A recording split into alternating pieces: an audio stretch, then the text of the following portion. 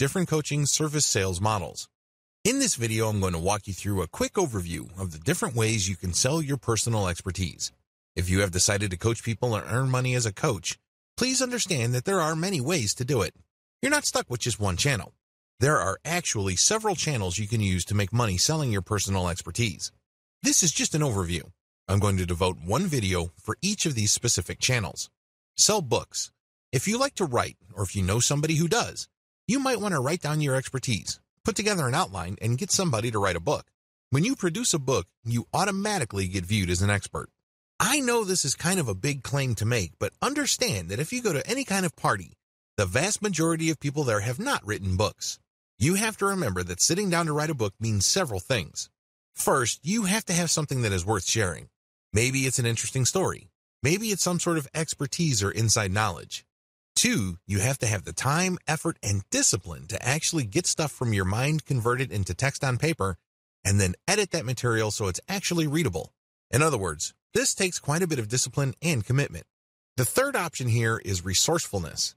Maybe you have interesting information you'd like to share, but you'd rather have somebody do it for you, and that's where ghostwriters come in. Regardless of how you cut it, when you sell books, people's inherent or instinctive respect for authors kicks in because they know how hard it is to write. They know that putting a book together is not actually a walk in the park. You get instant respect and instant authority status by simply producing one book after another in your area of expertise. Sell video courses. Let's face it, if you're trying to teach somebody a new concept, one of the most effective ways to do this is not to get them to sit down and read a book you wrote. Sure, your book might have all sorts of interesting graphics and diagrams, but at the end of the day, there's really no substitute for face-to-face interaction. This doesn't mean that you have to be in front of them live. You can shoot a video and have the same effect. How come? Well, when people watch a video of you giving a lecture or speaking directly to them, sharing information, they pay close attention to your eyes. They also pick up on your facial expressions, your gestures, and your body language. Finally, they make snap judgments about how you talk, what you talk about, and how quickly you speak. All of these are instantly put together in their minds and they make a quick judgment. Either they feel comfortable and they think you are trustworthy enough to listen to and learn from, or they simply reject you at some level or other. They may seem like they're listening, but they're not. Still, when people watch videos, a lot of this dynamic is replicated. This is why platforms like Udemy.com are so popular and successful. People spend millions of dollars every single year on courses from this platform to learn all sorts of subjects. You don't necessarily have to put your video courses on Udemy, but you can benefit from the same dynamic. Video courses do work because when people watch you and you're animated and they see you talk excitedly about a subject that they're interested in, chances are they will absorb that information and find you credible enough and authoritative enough to want to buy more courses from you. Scheduled webinars. Scheduled webinars are quite different from video courses. When you shoot a video course, there's really no time element. You can shoot it all at one time, and as long as people are able to access your website, they can pay you money to access your videos. They can watch your video the next day, or they can watch your series two years from now. They still see you on video, they engage with what they see, and they pick up information. Live scheduled webinars operate on a different dynamic.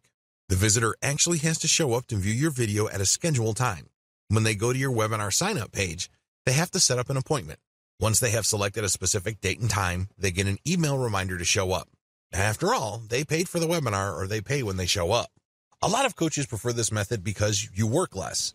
Unlike a video course where you basically have to shoot hours of footage covering a wide range of subjects because you are teaching people a fairly comprehensive set of information, scheduled webinars are actually more compact. Usually, they run no more than two hours. When you hold a seminar, you only focus on a fairly narrow range of topics. This saves you a tremendous amount of time. In terms of presentation, it also saves you quite a bit of resources when it comes to actual research. Still, scheduled webinars are actually recorded videos. So, these people that are signing up for a specific type of information are actually just setting up an appointment to watch a pre-recorded video on a fairly narrow topic. There is really no one-to-one interaction. There's definitely no interaction with the audience. People just sign up to watch the video at a specific date and a specific time. Live webinars. A live webinar is pretty self-explanatory. People show up at a specific time. They book that time and they pay for it. You show up and you speak relatively briefly about a pre-scheduled set of topics. After that, it's a free-for-all. The people who show up in front of their computers to see you on webcam can then turn on their cameras and you can see them asking you all sorts of questions. The value of live webinars is the interplay between you and your audience members. Please understand that different audiences have different interests and different questions.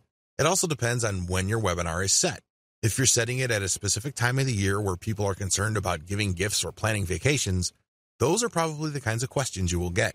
If you were to set up your webinar earlier in the year or in the middle of the year, people might have different interests.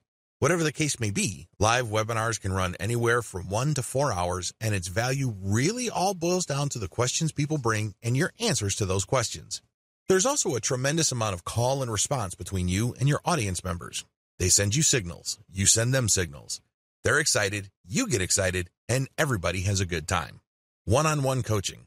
This form of coaching involves somebody going to your website, setting up a schedule for you to talk to them one on one over Google Hangouts or Skype. When that time comes, they show up, you show up, and you provide coaching. For them to book you for that appointment, they have to pay. This is a great way to directly coach somebody. There's really no right or wrong answer regarding which sales model you should choose. However, if you are serious about building a solid expert brand, you might want to consider doing all five because if you think about it, they all flow into each other. The more people are exposed to your books, the more famous and credible your author brand becomes. This increases the likelihood that people will sign up for more video courses.